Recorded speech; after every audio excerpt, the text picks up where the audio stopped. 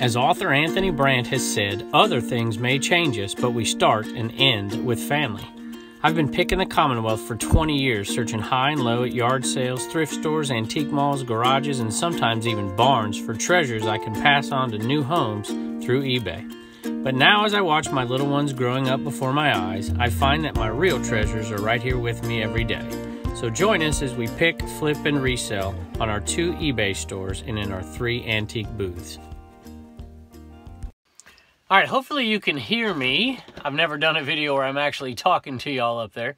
And here's all you need. This is, this right here, this flat rate bubble envelope here, this padded flat rate is gonna cost $7.33 to ship. And this right here is gonna cost $6.75 to ship. So if I'm doing my math right, that's a 58 cent difference.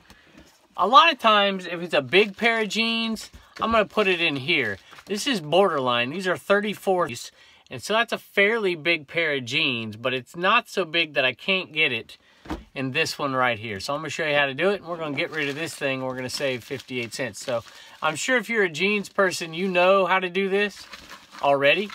You've probably been doing it for years, and maybe you've got different techniques, but this is how I do it. All right, so the first thing I'm gonna do is I'm gonna take this pair of jeans and I'm gonna put it in this poly bag and I'm gonna compress it and kind of push the air out of it. So take a look.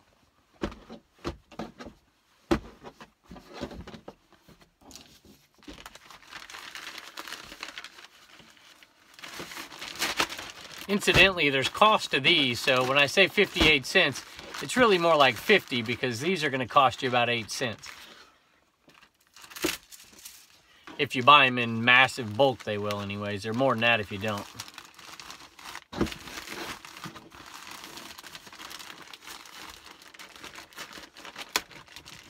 Now, you'll want to fold it just slightly over half so we get a good little compact package.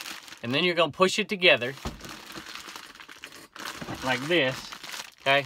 It's going to expand in a minute because I got to do another step. But that's going to suction a lot of the air out and enable you to get it in that thing. And then it'll expand to the shape. All right, so next step here is you're going to need to create a new crease. So you have this crease right here already. You can probably see this crease that's already kind of pre-built into it. You can definitely see it on this side.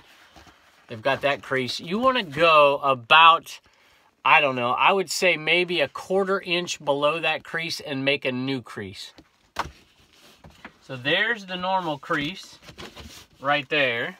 See the normal crease? Now I'm to make it a little bit bigger. So I'm to take that crease and I'm to fold it over a little bit further. And so, I don't know if you can see, there's the old, there's the old crease and then there's the new crease. So the new crease is gonna line up with that red strip. That'll give you an idea. The old crease is right here. And the new crease is right along that red strip. And that's gonna make this thing turn into a slight more of a, a little bit more of a box than anything else. Get that, open it up as wide as you can. You're gonna take this thing, you're gonna push it together like this. I put the thick side in first. So where the fold is in the jeans is what I put in first.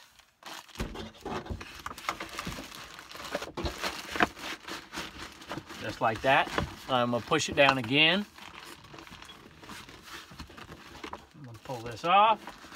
And now we've got our crease that goes a little farther down and makes it really, really easy. And there you have it. Now, I like to put a little bit of tape on it too, just in case.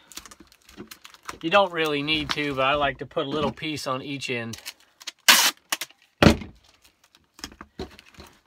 Just to keep it from, from splitting. Now, there's some debate, like you can't alter packages and all that for flat rate. I've never. I have shipped these things, literally thousands of jeans in these things over 20 years. And I have never, ever, ever had a problem. So there you go, $6.75.